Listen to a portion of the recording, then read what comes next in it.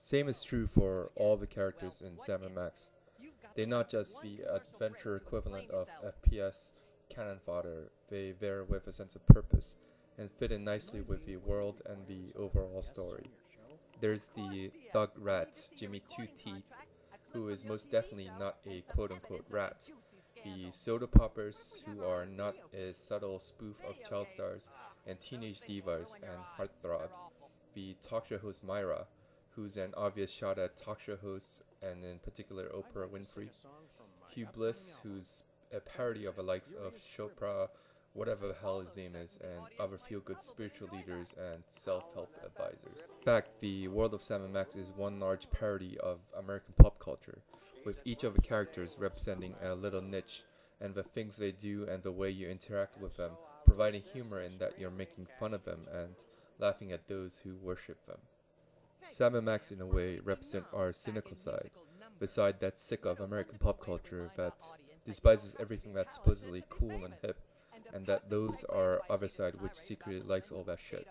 You could even say that Max's problem-solving outlook that tend to be violent in nature is a reflection of our feelings. In other words, just as Max wants to violently pummel the soda poppers, we want to strangle Britney Spears. The parody is subtle and at the same time quite obviously laced into the overall story of a game. It's a testament to the quality of a parody that you hardly notice it while playing. Never do you see the jokes coming, never do you roll your eyes at the obvious, and never do you feel like that this is simply a parody.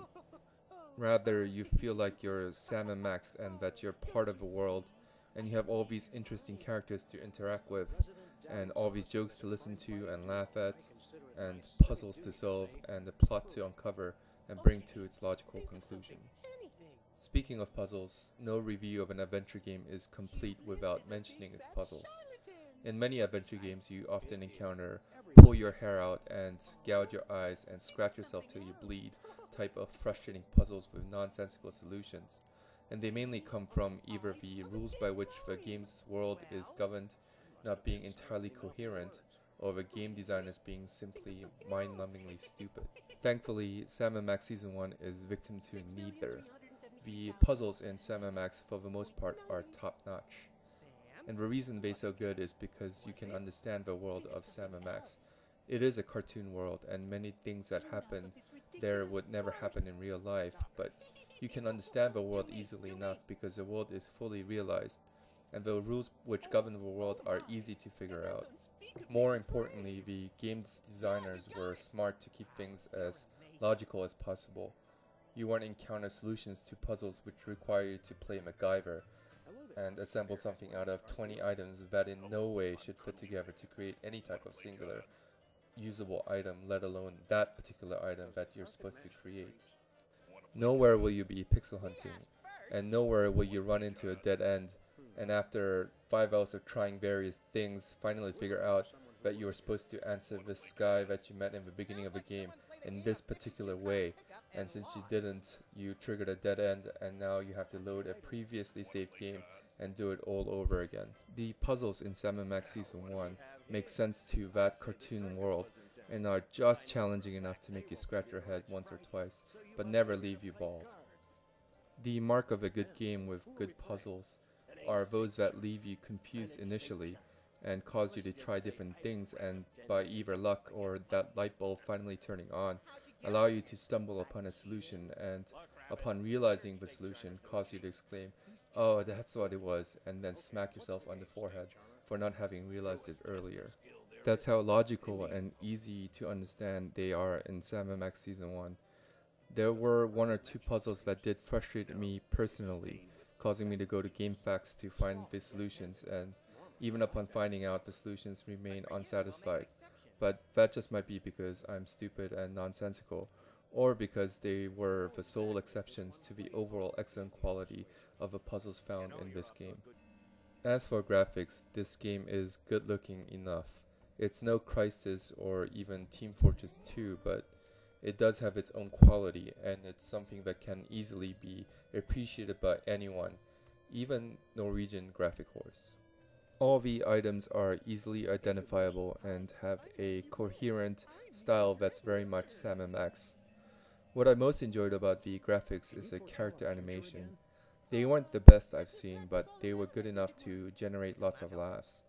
In particular, some of the reactions by Sam to bizarre events happening around him were hilarious. His look of horror is absolutely priceless. One gripe that some people may have with the graphics is that you can only set the resolution to 800 by 600 or 1024 by 768, which may annoy some who want to play games at their monitor's native resolution, but I personally didn't mind since the game allows you to play in windowed mode.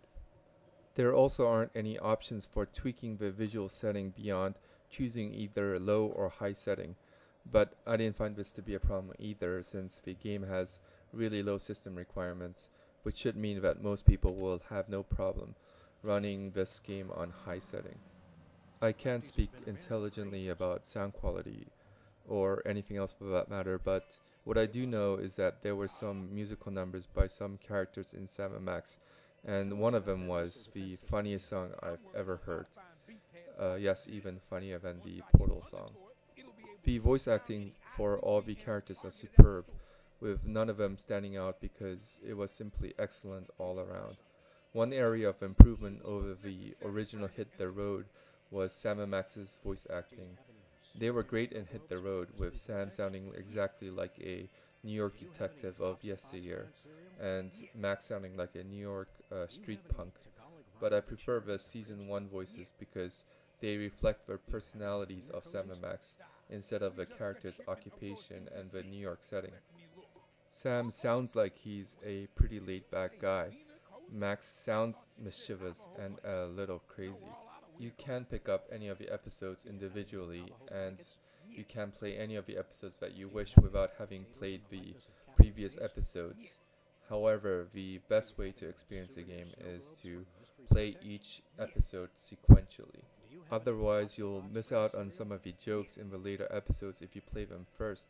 The later episodes often allude to something that happened earlier, or there'll be a requisite knowledge of earlier events to truly appreciate the quality of the jokes. For example, Bosco's disguises are funny on their own. However, it's even funnier if you know who Bosco is and are expecting him to have some kind of disguise. So I would definitely recommend people to not try the demo, which is episode 4, in deciding whether or not to purchase the game, and instead trust the review of this total stranger and simply pick up the whole season and play them in sequential order. Each episode is quite good. Some episodes are substantially better than others. Episode 2 is, in my opinion, simply brilliant and the best of a lot. Episodes 4 and 5 are excellent as well, Episode 6 has some puzzles that I didn't like and felt were a bit nonsensical, and episode 3 was pretty disappointing in that the puzzles were a bit lackluster and the jokes not all that funny, especially considering that the plot of this episode dealt with the toy mafia. All in all, I heartily recommend this game to anyone who's even remotely interested in playing computer games and it's certainly a must buy for those who are looking for an adventure game with an interesting story, great characters, challenging and logical puzzles, and tons of hysterically funny jokes.